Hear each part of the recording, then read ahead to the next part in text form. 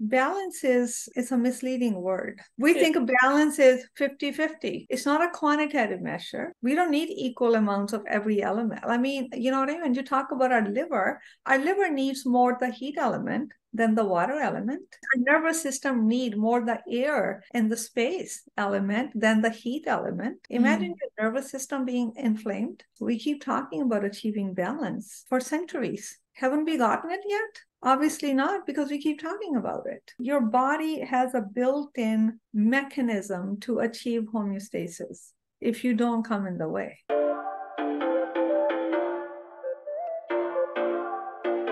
Hi there. In today's episode of the Eat, Live, Feel Better podcast, I sat down with Meena Puri, an Ayurveda practitioner spiritual counselor, and author whom I deeply admire.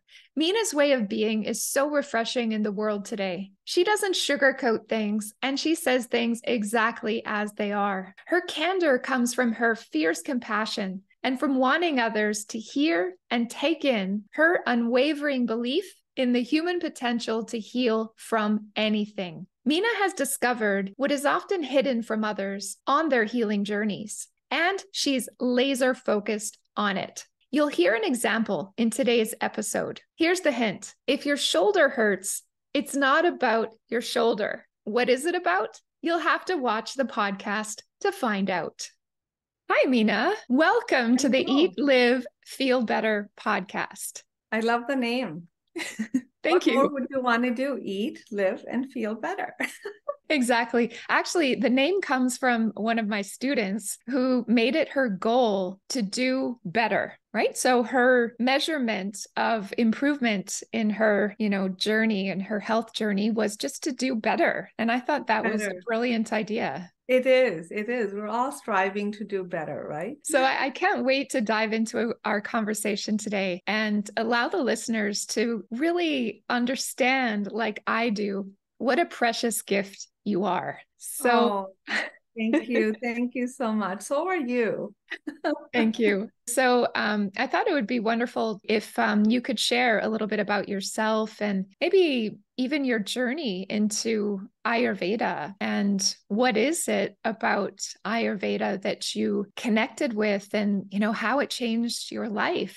So, you know, I think my journey to in Ayurveda or my connection to Ayurveda comes from my lineage, my heritage. I grew up in India. Yes. My father was an Ayurveda doctor, healer, so was my grandfather grandfather. My father was also a medical doctor, an eye surgeon, and all that. But in India, I didn't look at it like, oh, this is Ayurveda and this is not, because mm-hmm. that's all there was. People were not continuously struggling with options of the medical world, mm. you know, because it was all Eastern. My mm. father was a medical doctor as well. Wow. So, he, you know, it was just like a one thing, one thing to do because things that Ayurveda could not do. I mean, he did surgeries and whatnot. So he was like the whole package. And same thing with yoga. I've always messed around with my body in a sense that I've seen my brother do it, but it was never was like, oh, this is yoga. Oh, this is meditation. It was in a way inbred, part of the living. Wow.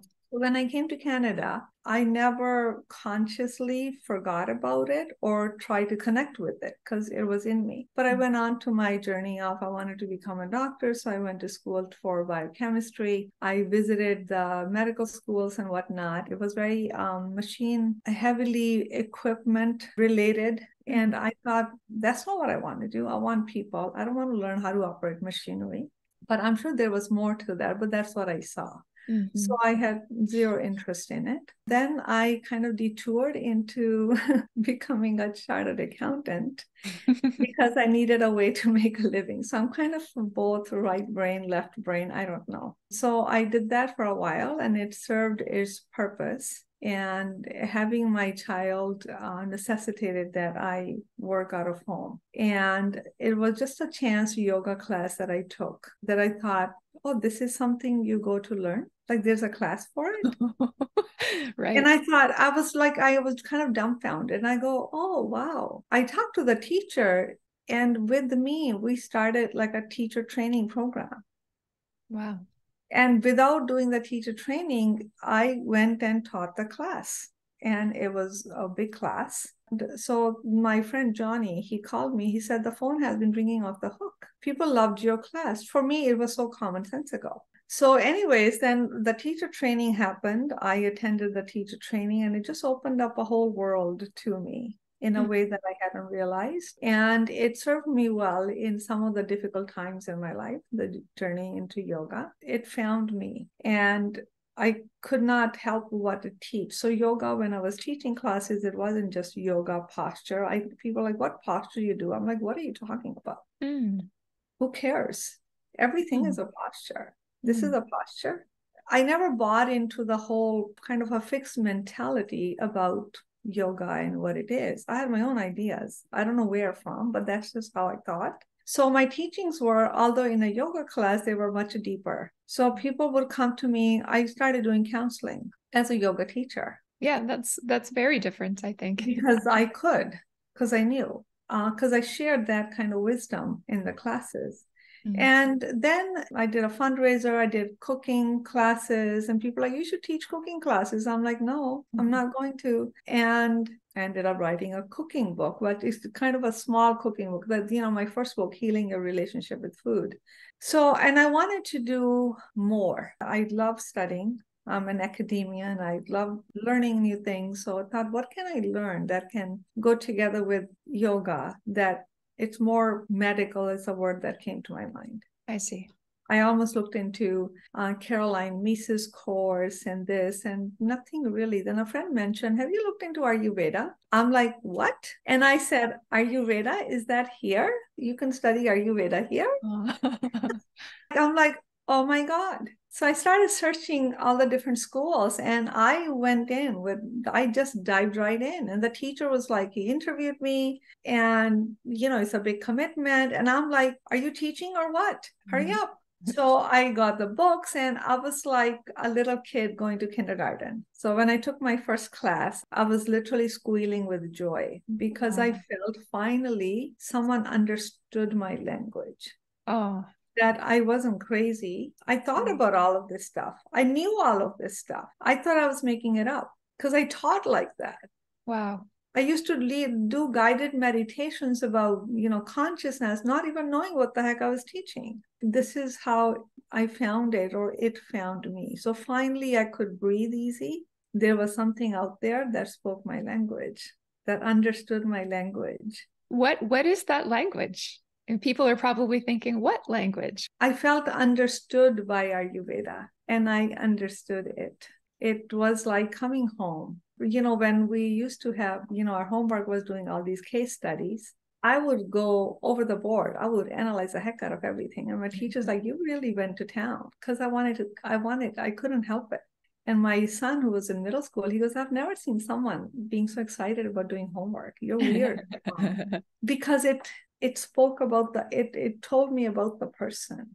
Everything was connected their story the way they thought what they felt what they've been through and how they're eating. So the person was a whole one integrated unit and that was a breath of fresh air for me and that was it. So it found me. And you know i remember prior to finding it when i got sick in my challenging times they had no clue what was going on with me. I had no clue what was going on with me and the doctors never asked. So they you know like all kinds of things they were due and they never asked about the stresses in my life.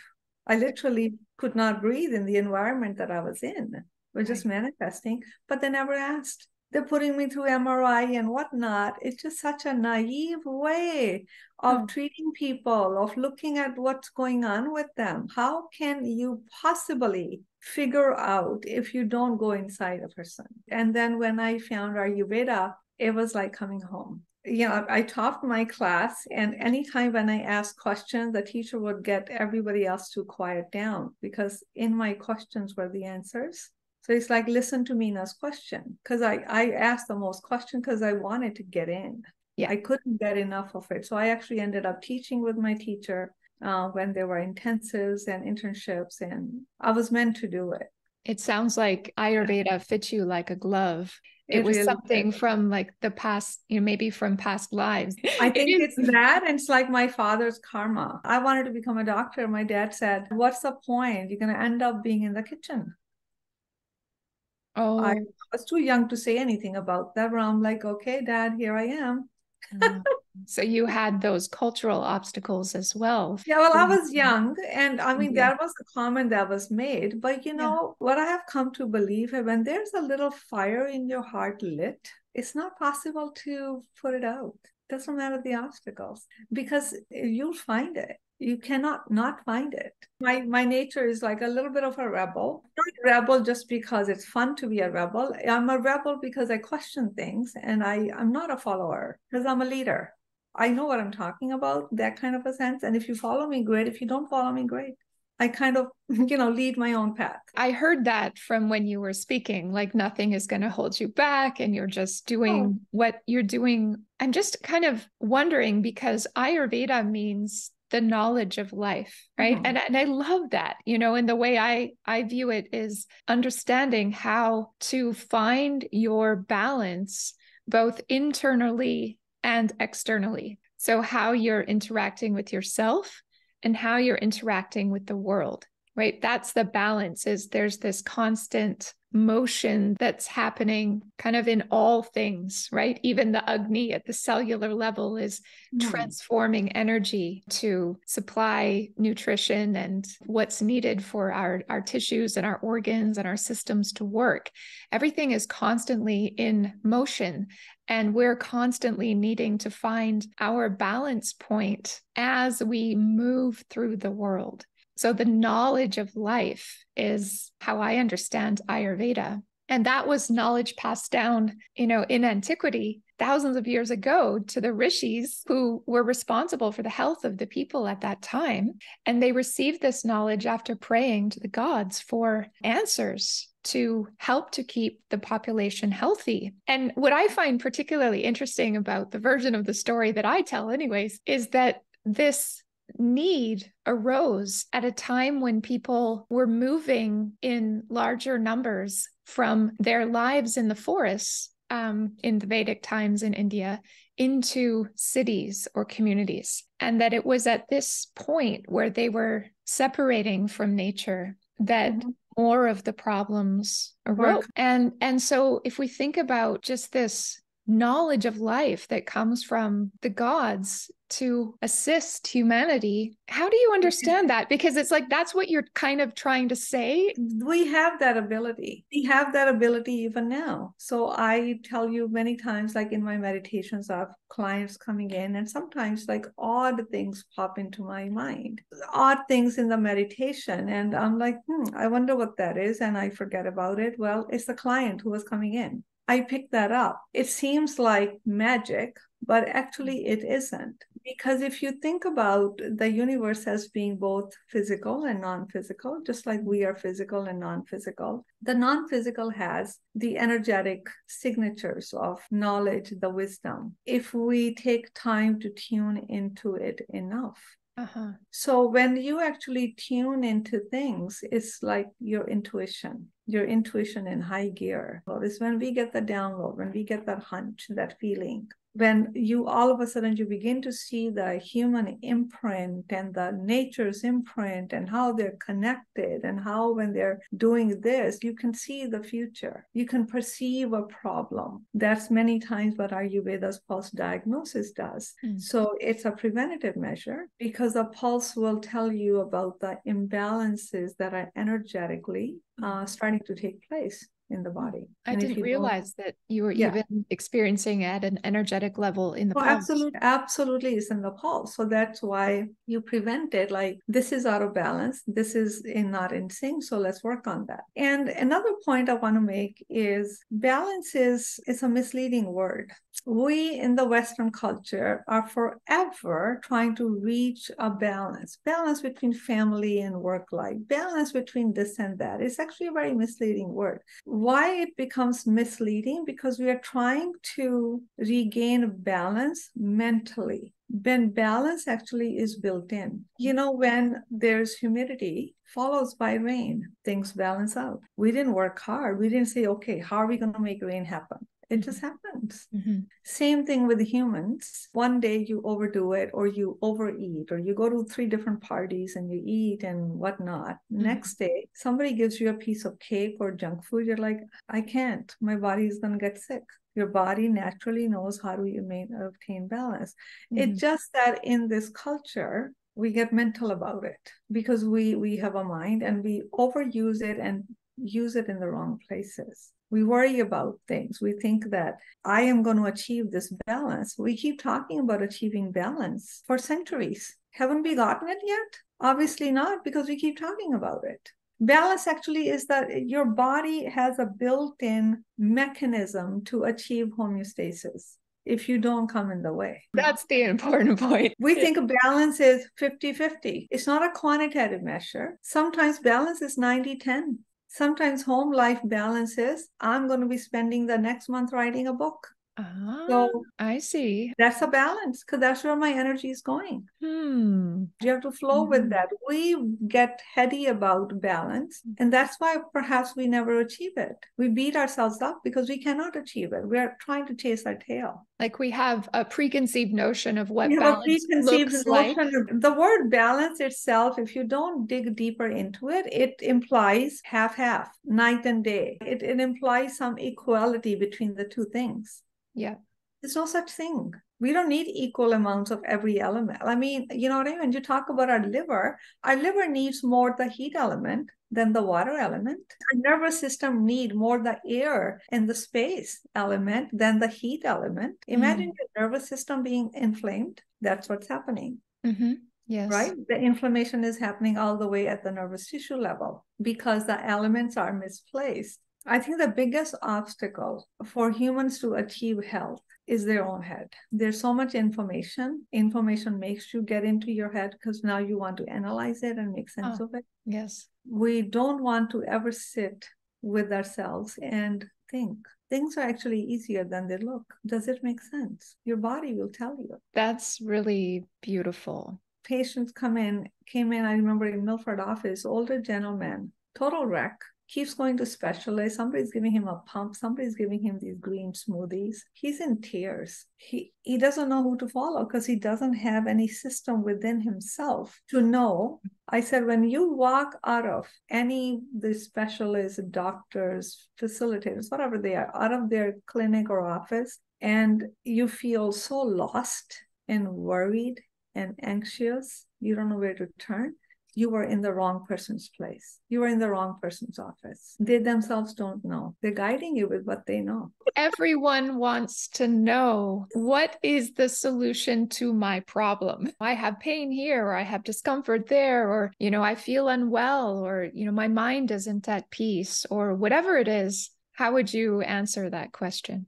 So it's important to recognize the problem. Like I have a pain in my right shoulder. Notice it. Don't jump to any conclusions. Notice it, check it out, check it out for, you know, week, 10 days. See it's persisting. What do you know to do it? Do you know to put your hand there, comfort it, soothe it, massage it? Notice what movements are creating more or less pain. Are you sleeping on the wrong side? Or did you hurt yourself? Why, particularly the shoulder? And then pay some attention to it simply put your hand, breathe, and say, let the breath go to the shoulder. Don't worry about how it's going to get there. Just ask the breath, please breathe into my shoulder, and ask your blood flow to say, I want more blood flow, more blood flow here. So see if you can soothe it yourself and do the things that you know to do.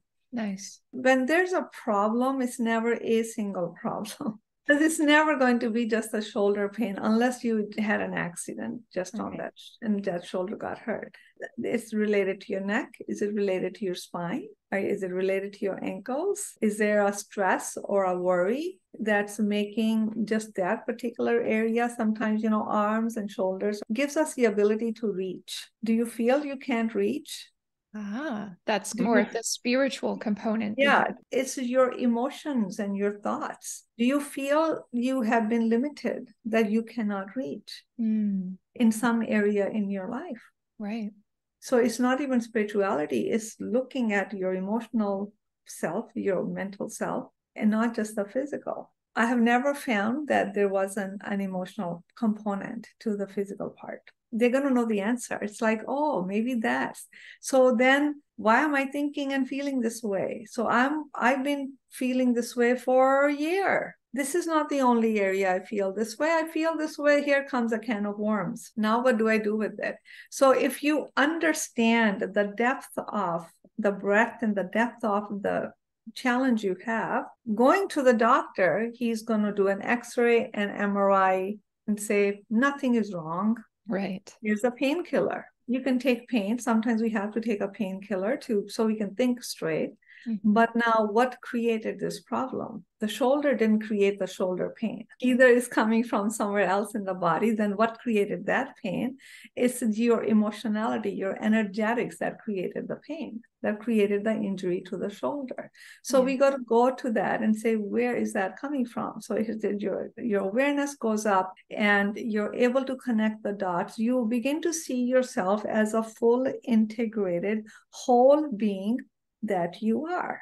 You're not running amok with just, oh, shoulder pain, shoulder pain, shoulder pain. It is not shoulder pain. You have emotional pain. You have an emotional dysfunction. You've got emotional challenges, something that you don't know what to do with. You feel stuck in a place or you feel mm. you can't reach. You feel, and it's the things that we don't want to talk about. Always. Yeah. It's, what is it about human nature that we avoid, we distract, we are fearful to actually address the problem. Well, and what you're saying is that's actually the way to the solution. We humans are still evolving. For the longest time, the complexity of the emotional problems that we face today, I think there was more innocence. The family units were different. The mm. problems were different. There was not so much coming into our head. People lived simple life. And sometimes a grandmother just put something on you, gave you a hug, and gave you this tea. So in that, she fed your emotions. Yeah. Yes, she gave you tea, but the tea was a symbol of I'm here for you. Don't worry. We're going to gather around you. You're going to be okay. Well, here's nobody's giving you a tea, cup of tea. Yeah you have to Google and say, is there a certain tea? Yes, you may find the perfect herb, but the qualitative component. Yes, yes. I connected with this just uh, recently. I was unwell and I was asking my husband to, like, look, can you ask me what I need? Can you make me some warm water? Can you make me some ginger tea? Can you get me a pillow? Can you sit with me? You know, and not try to fix the problem. I was really needy. Actually, this morning I was reflecting yet again and realizing how much I was desiring mm-hmm. soothing. Mm-hmm. I yeah. wanted to be soothed and I yeah. wasn't getting it. And I think I didn't get enough of it when I was little. This need stuck with me and stayed with me.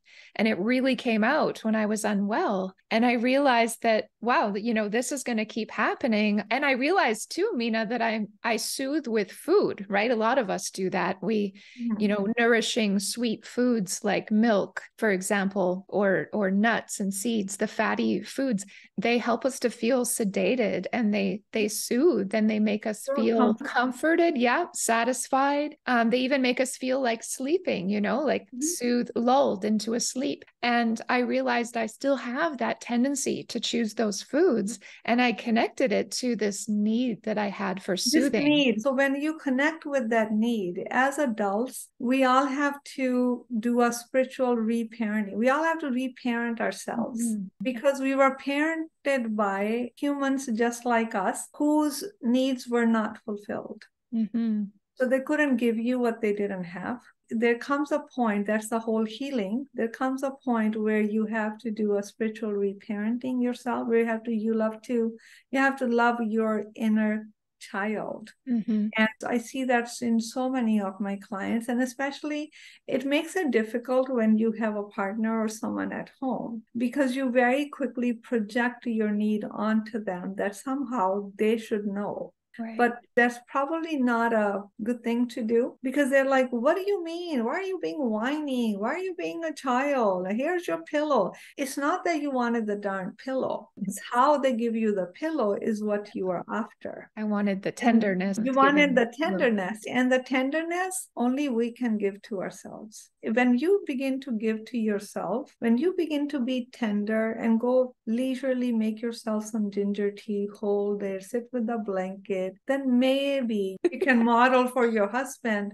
He can see the tenderness and the gentleness and the love that you are being yourself with. Yeah. Then he may, so that when she is ill, she's needing that, not the tea or the pillow she's needing your love hmm. and he may give it to you he may not. We don't hmm. know which place he's coming from. Many people when they feel somebody's needy it's they run hard. away because they feel weird. They they have never addressed their own right. emotional needs. When they have to address yours it's a painful point for them so they run away from it. Yeah i noticed that's a, a crazy thing about sort of the way the universe seems to work is that when you really need or want something from someone that's the time they're not going to give it it would be nice if everybody could just read our mind and just give us what we need. Yeah. But they don't know. We nearly need to let others off the hook.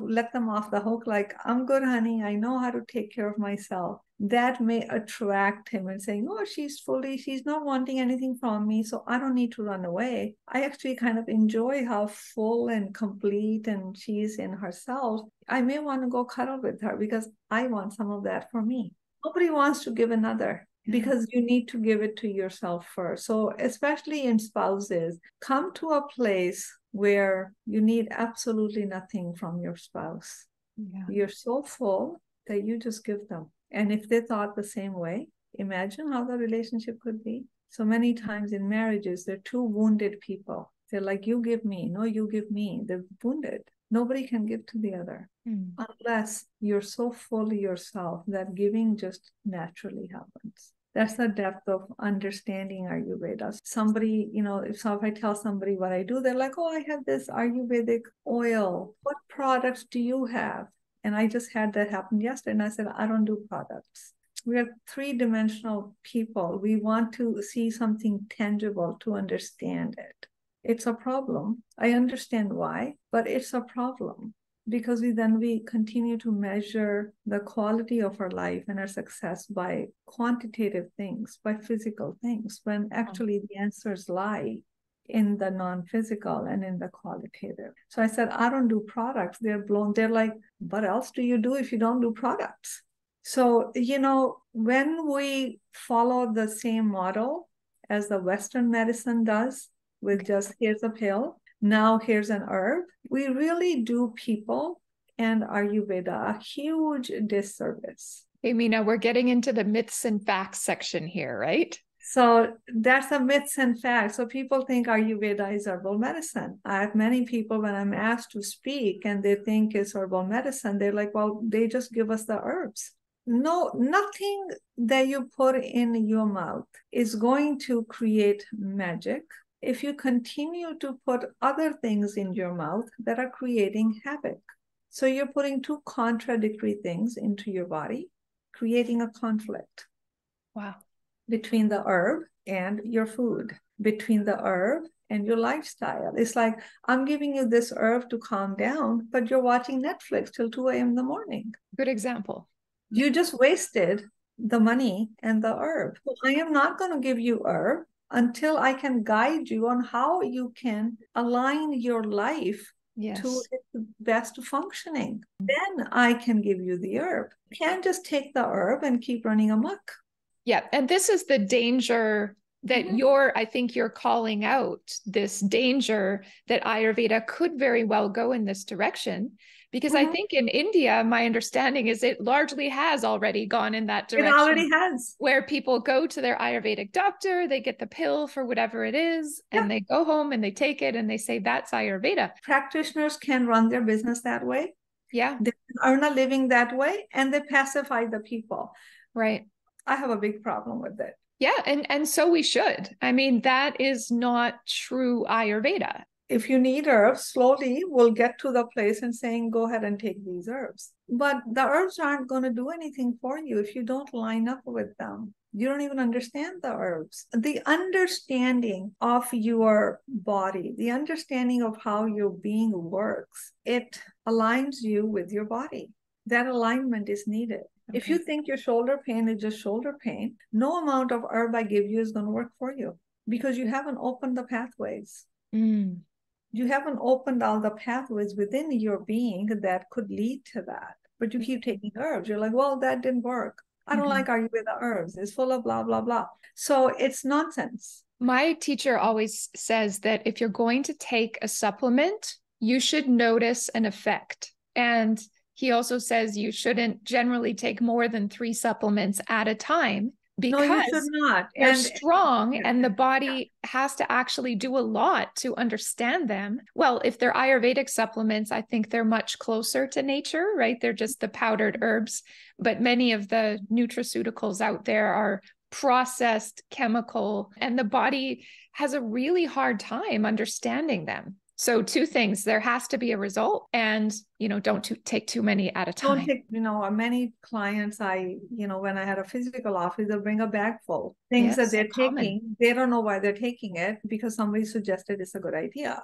It's good ideas gone bad. So right. I tell them, okay, give this a rest for 10 days, 15 days, and let's see if you notice the lack of them. Good. Yeah. Yeah. Right. That we clean out. And then I'm like, okay, then we introduce one at a time. I don't even take Ayurvedic herbs every day. Yeah. I cannot even do the same thing every day. So Ayurveda is not about some rigid, another yet rigid set of rules and principles that you have to follow. It's deeper than that. Understand yeah. your nature. Your nature changes from day to day. Your nature changes from season to season, from age to age. It's understanding your nature, what's needing today, what's the energy you feel around you, and which direction, and how does this feel, and how does that feel. So, Ayurveda really requires you to be awake. Hence, the whole depth of Ayurveda is a study of consciousness. Mm-hmm. Because when you are awake, you need to be awake and aware so you can tune in to your needs. Yeah what's around you so you can align accordingly. We are not accustomed to doing that. We find it's too stressful. We're like, you you just give me the herbs because we think that if we dump some supplements or some herbs into our body, we can forget about it.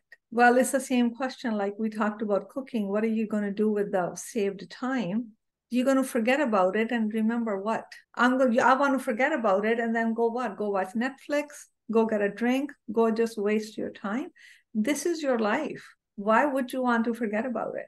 Ayurveda is really, in my understanding, if we can uh, reclaim our connection to yeah, so our daily tasks exactly. in life, the things that create our our lifestyle and and make us human, our our way of life is all Ayurveda. Um, just the things we all have to do every day that is Absolutely. Ayurveda. Absolutely. And we can take those things back and actually find joy. And we find Connection, joy when yes. we understand something bigger in a bigger way, when we are educated on what is bigger.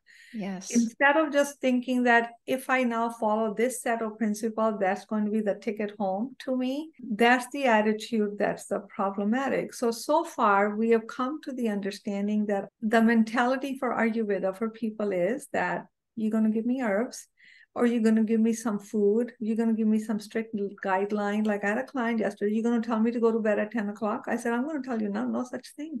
You're going to figure that out. Right. you're going to figure out your own intelligence. You have it within you.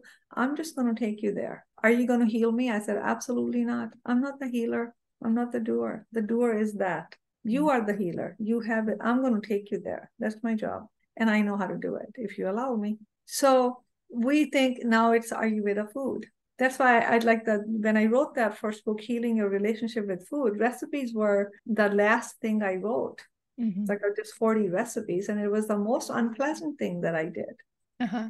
Because I don't want to give you recipes. Again, I'm making you stuck in your head. A quarter teaspoon. I don't even know a quarter teaspoon because I don't measure anything. I go pinch, pinch, pinch, and somehow I don't even taste the food. It seems I don't know how. It's because I get out of the way. I see. I, I think it must be is because I don't worry about it. I think when people worry about it and it's like, follow this recipe, follow that recipe, I think recipes are great. Mm-hmm. But at some point, you got to create your own recipes are like the the training wheels to learn the how training to, cook, wheels, to learn right. new skills. Can open your mind. Like sometimes when you do recipes, I'm like, oh, you can combine this with that. But then I figure it out, right? It's just an idea, sometimes a reminder or whatever. But it's deeper than that. So there's no word for Ayurveda. Really, Ayurveda is about you claiming and connecting with your own innate healing power at every level as a whole being. It's really looking at yourself as a whole person. Never just run after a physical discomfort or pain as just physical. When you ask the question, all of you know where that physical pain came from because it's, you know it. You just haven't asked the question. No one has told you to ask the question. So ask the question What am I thinking? What am I feeling? How did this come to be? How is my feeling, thinking associated with this pain? Have I had this before? Why do I keep on having this random pain here and there? About my emotional life? How is it causing problems in this area, in that area? Be a little scientist, right? Go connect the dots. Go have some fun with it. Go get to know yourself. And then you're going to say, see, oh my God, it's not just the shoulder pain because I guarantee you it isn't just your shoulder pain words of wisdom from the great Meena Puri. You know, what I love about you is your singular focus on the emotional and mental relationship to health, that aspect of health, because it is the one that that is the root cause. Almost everyone overlooks, as mm-hmm. you pointed out, as probably the biggest myth about Ayurveda, the herbs being mm-hmm. the solution. It's not the solution. It, this is the solution. And so I think that's a huge takeaway from today's conversation. I'm glad. I'm glad. And I actually find very, very I, I don't really haven't found, apart from my teacher, I haven't really found anyone who does what I do in the realm it's rare. of Ayurveda.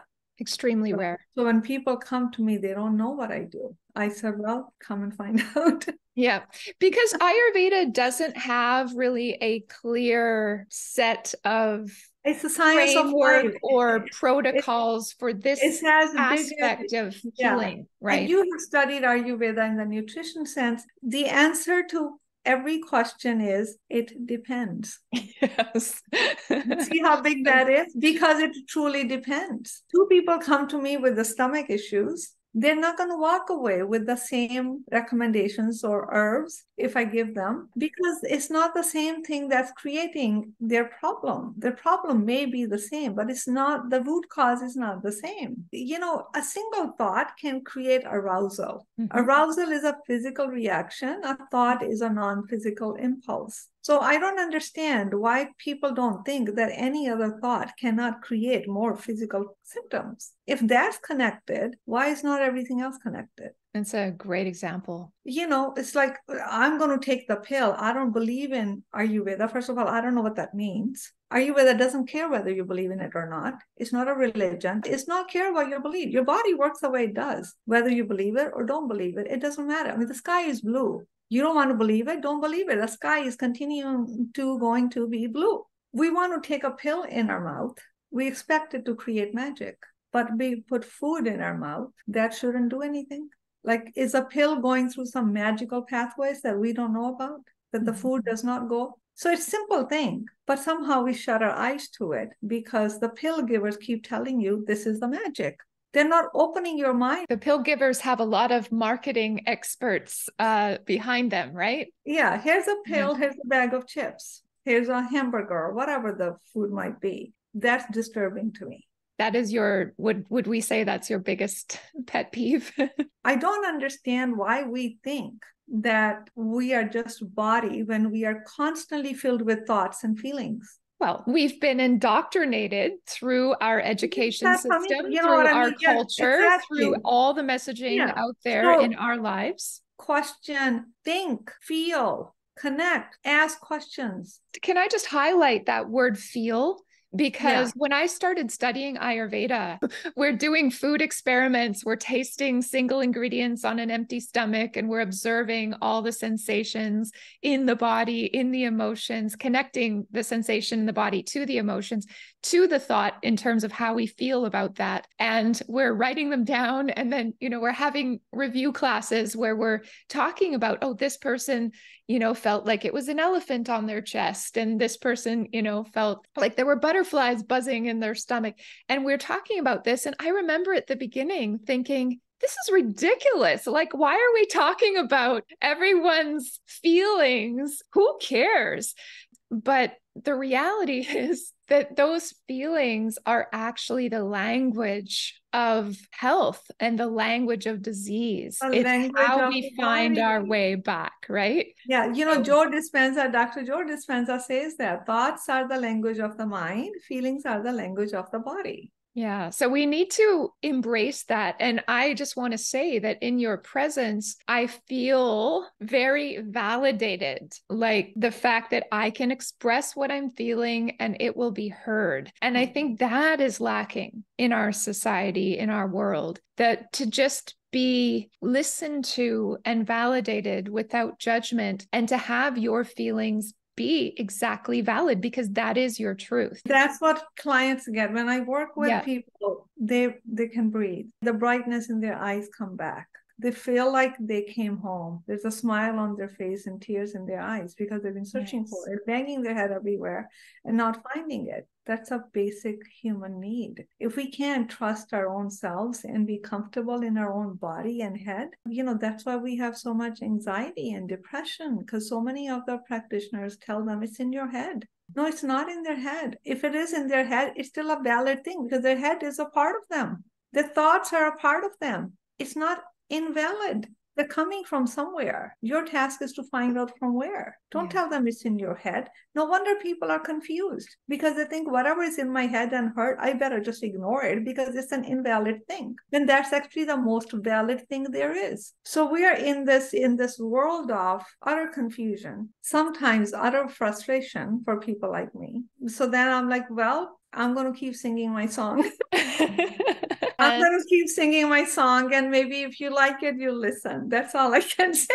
yes. And though I know that you've created a wonderful, very affordable opportunity for people to enter into your world. And I would love for you to tell us about it in case anyone wants to take that next step. Thank you. Thank you so much. So after, you know, a couple of years of figuring out how to share this knowledge or wisdom with many, many people so they can shift I created this membership program. It's called the Inner Compass Club. Mm-hmm. It's a membership program where you pay either $25 if you sign up. When you click on the link within 24 hours, you get $25. Otherwise, it's $30 a month. Mm-hmm. There's also a like a package for a year if you want to do that, but there's no contract to sign. Mm-hmm. So what this is, is an online learning portal where it's your own learning portal. You have a your username, password, you log in, and I put content there. So I started with this six-step process to heal your trauma, heal your hurt, heal your emotions. And it's very succinct. It's every month I put new content. So the content is in the form of video teachings. It's very exact and specific. So the longest video may be 15 minutes long. And this is like a three minute video, two minute video, five minute video, and there's a guided meditation, there's a workbook, and going into the program, people have bonuses. My free copy of my second book, uh, Wake Up and Heal Six nice. Steps to Emotional Healing, and my 21 meditations that I created during COVID time. So you have access to that on your online portal. Plus, I do at least twice a month, I have a private Facebook community. I go into the group and do live Q&A. Nice. So people post their questions or they come on live and they ask me the questions and we we have a conversation and you know we keep moving to the next step the next step again healing is such a big topic so this is a great way for people to start. I'm going to continue to make this membership richer and richer just because there's so much to share. Yes, yes. So it's a very small way for people to start, people to kind of step into my world, step into the teachings and be connected that way. And I'm going to continue to grow it, give people more and more and more Mhm. within this membership. It's going to be a never ending membership because this is a never ending topic. Of course. Our multidimensionality, our wisdom, and all of the faculties that we have not used to be fully human, these are conversations that can never stop. So it's a great way for you to start. You can cancel anytime you like to cancel. I have no contract with you because it's for you. If you're not finding it's not for you, then why would I want to force you to, to keep you in? You have to feel it, then you can leave.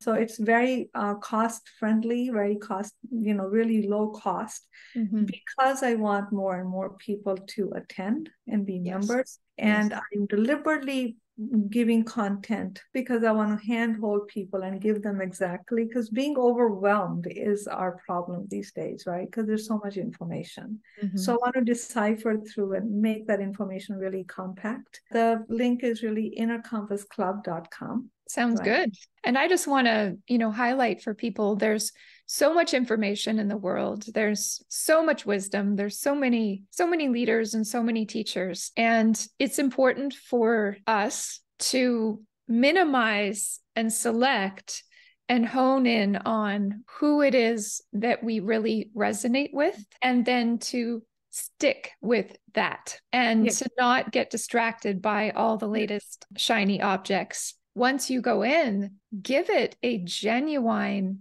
opportunity and a genuine chance and really focus on it and be serious about it in order to get the result. be serious. Make a commitment to yourself to Yeah. to rise. Make a commitment to yourself to evolve to rise out of your predicaments. We do have to be conscious of how much we take into our space and what we take into you know the mental space so we do have to be conscious of who we follow because in this day and world everybody has a mic everybody is a healer everybody knows everything basic simple things people have given it all kinds of buzzword names to get your attention. It's a marketing world. You have to. Meena, you are the best kept secret in that world. Thank you. I'm not, as you know, I am on social media, but only to a point where I, can handle it. I don't go crazy after it. We have these fascinations about simple things. We make it more complex.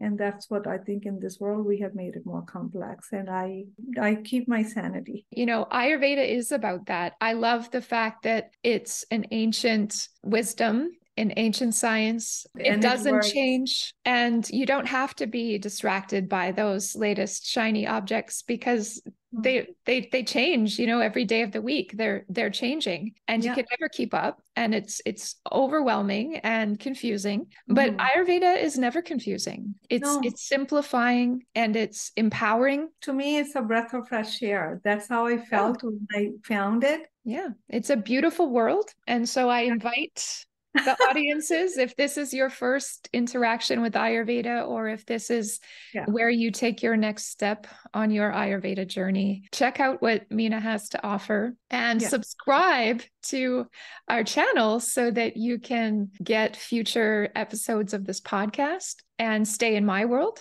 as well. And uh, thank you for watching. And Meena, thank you very, Thank very you so much. much. It's, it's lovely. It's wonderful always to chat with you because we get each other. Absolutely. I love chatting with you. when can we do it again? We should do it often. Why not? Absolutely. Thank you so much. Thank you, everyone, for watching. Bye for now. Bye bye.